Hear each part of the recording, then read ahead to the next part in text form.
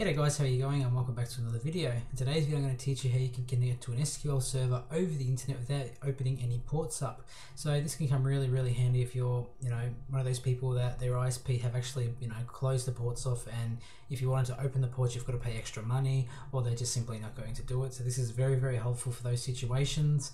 Um, now do bear in mind that if you have not seen my previous video on how to connect to an SQL server, do follow the steps of you know um, adding exceptions to the firewall, configuring it within SQL Studio Management. You know, definitely do those things before you get started and then follow this video to sort of take it from there. So let's begin. So the very first thing we need to do is we need to go to Google. We're going to download Hamachi. So just click on download now and install it. Once you've installed it, it's going to look something like this and it's going to ask you if you want to you know purchase their subscription things like that we don't necessarily want to do this just yet now you guys might turn around and say well hey this isn't you know exactly what I signed up for.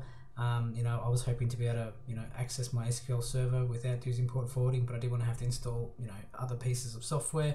Unfortunately, um, this is the best way that I've found it. Um, I was living in Turkey for, you know, a little while, and my ISP actually had the ports blocked as well. And this was the best solution that I could find at the time um, in order to get my SQL server to work over the internet. Um, you can use other methods, but they do cost a lot of money. So this was the one that I found that was free to a point. I believe you can connect up to five or six devices um, to a network for free before you need to start paying anything. Um, but you know, for five devices to connect to an SQL server over the net, I mean, you know, it's it's really better than nothing. So give it a chance. You might like it. And um, yeah, so let's begin. So let's create a new network. It's going to ask for your network ID. Now this, I believe, needs to be unique um, and not already existing from somebody else. So I'm just going to call it SQL Server 001. Put in your password. Put in your password again and press create. Okay, so now that we've got our Hamachi service set up, what you need to do on your other computer that you want to connect to is you need to also install Hamachi, go to network, and then click on join existing network type in the network ID, which in this case is just SQL Server 001, and then type in the password. Leave it blank if it's unknown, I suppose, um, and then you click join, obviously. From there, within your program, is this IP address here. We want to copy the IPv4. Then we can go to Visual Studio, and now we can put in the IP address to our server, just in there like that.